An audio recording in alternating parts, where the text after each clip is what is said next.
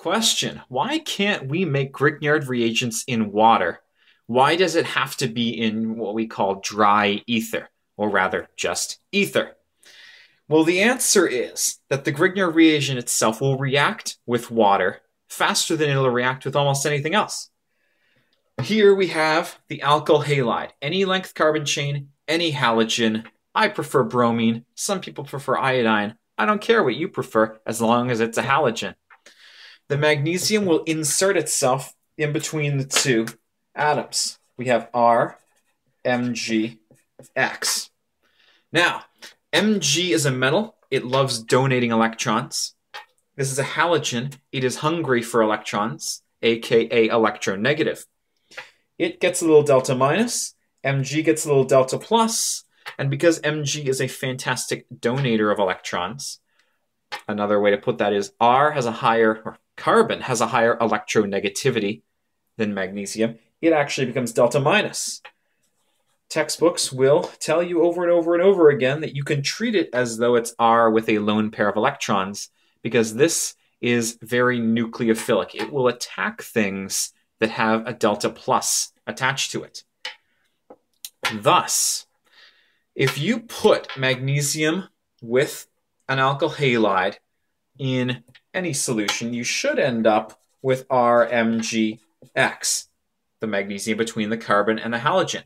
But the problem is that that alkyl group, which again is the same as R minus, or R with a lone pair of electrons on it, will simply attack one of the H's, steal it as though it was a Bronsted-Lowry base, and you'll end up with RH. That's just a regular old alkane.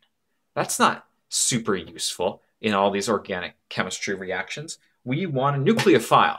We want a nucleophile like that guy. We don't want a regular alkane.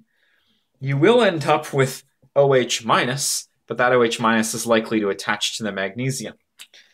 Now, realistically, the answer to your question, why not water? Because Grignard reagents will react with water to make an alkane realistically, if you put solid magnesium in water, there is a slow reaction going on there where the magnesium reacts with the water to make magnesium hydroxide. That's actually a single displacement reaction. If you're being asked this question, it's probably not what your professor was going for, but I'll tell you anyways. If you put magnesium with water, there's a single displacement reaction that makes magnesium hydroxide and hydrogen gas you know, just a little side reaction. You're losing magnesium when you don't have to. In a lab, you don't want to waste stuff because it gets expensive, etc., etc. Long story short, you need it in ether because the Grignard reagent will not react with ether the same way it will react with water. It'll make the alkane, which is basically useless for all the reactions that Grignards are actually good for. Cool? Hey! I love you, you love me, etc., etc. Best of luck.